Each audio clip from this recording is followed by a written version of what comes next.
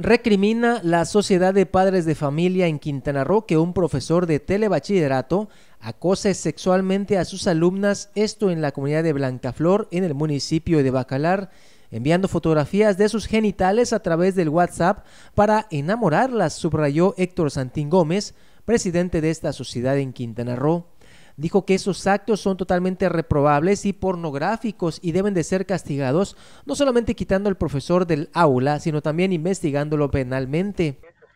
En ese sentido es reprochable por nosotros como asociación y pues estamos totalmente en desacuerdo y que tiene, tiene que este, investigarse y castigarse de ser este, culpable esta persona porque no, no puede estar este, utilizando eh, de una u otra manera eh, su figura como maestro, como docente, eh, mucho que se debe sancionar y utilizar el, el, peso de la ley que corresponda en el caso que resulte ser culpable y que este, no se permita de una u otra manera nuevamente este, estas acciones que se estén llevando filtros la joven, de quien se omiten sus generales por el pudor, señaló que el profesor cachondo le empezó a preguntar cómo dormía, si desnuda o con poca ropa o baby doll, y así fue como en su calentura le envió unas fotografías de sus genitales, por lo que espantada decidió denunciar.